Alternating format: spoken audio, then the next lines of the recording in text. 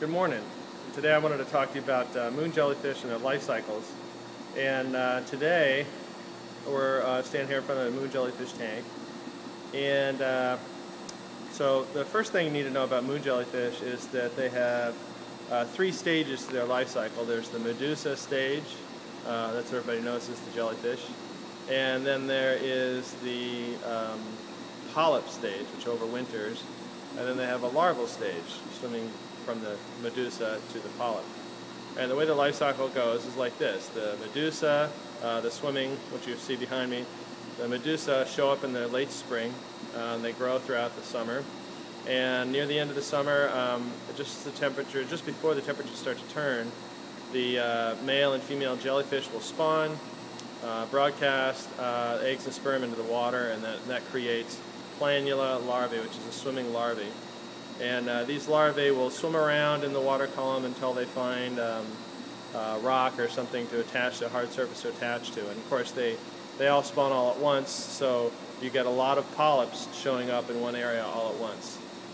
Which, and this is key to remember because I'll come back to this, this later, this issue of a lot of polyps showing up all at once and the fact that they all spawn at once.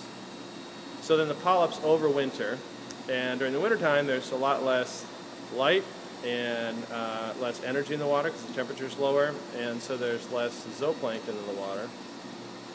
And the polyps uh, will bud asexually, so polyps basically make more polyps, um, like as if there were a, a, polyp were to grow off my shoulder. Um, you know, they just uh, split. And uh, so polyps make more polyps over the winter, and then come springtime, uh, just, uh, my drink aside here, just as um, just as the uh, temperature has been dropping all winter long um, and it starts to bottom out and just starts to tip up, like say late March, uh, March, April, um, that's uh, just that's right around the time when the temperature just starts to tick up is when the uh, the uh, metabolism, essentially the metabolism of the oceans, uh, switches on, and uh, phytoplankton start reproducing more prolifically and uh, basically you get a lot of more metabolic activity happening in the oceans because there's a lot more uh, food in the water, essentially, more nutrients and more energy in the water. And so what happens is, because of all this metabolic activity, you have higher levels of iodine in the water. Why, I don't actually know. Um, specifically, that'd be a good thing for you guys to research why the iodine levels uh, spike in the early spring.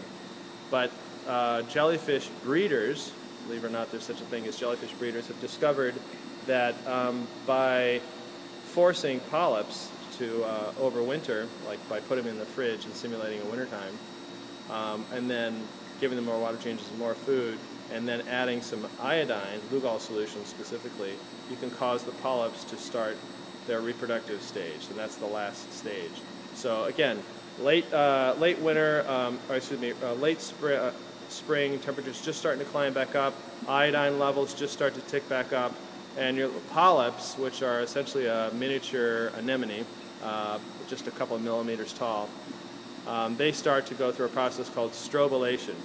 And strobilation is where the polyp becomes elongated and then it starts to look like a stack of pancakes, or better metaphor would be like a stack of snowflakes and the snowflake on top of the stack is pulsing and it's attached right in the center. So picture a stack of uh, snowflakes like on a pin. Um, and the one on top is uh, pulsing, but he's still stuck. And then pop, he pops off and then swims off like a swimming little snowflake. Um, and that's the baby Medusa, also known as uh, Ephyra. And so the Ephyra then grow up, and here comes the warm season. The temperature's now climbing and uh, uh, they grow up into medusa, and you know, male and female uh, jellyfish then spawn late summer. The whole cycle recurs again. Now, this goes back to what I was saying earlier about why you get a lot of, um, I was saying earlier how you get a lot of polyps being created all at once because the medusa spawn all at once. Well,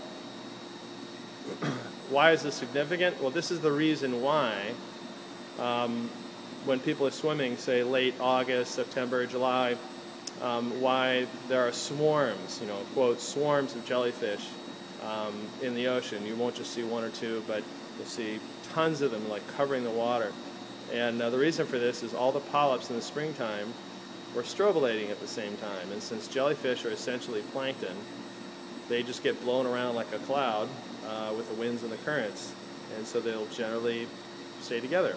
Uh, so that's uh, today's video about jellyfish life cycles. Uh, maybe next time I'll talk a little bit about um, why do our have our moon jellies here lost their sting.